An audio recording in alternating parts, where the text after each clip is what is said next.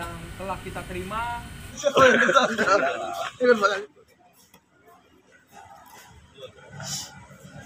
salah satu pelaku pencurian berinisial ZA Z ini di kantor Dinas Pendidikan dengan berserta tas yang merupakan aset dari dinas.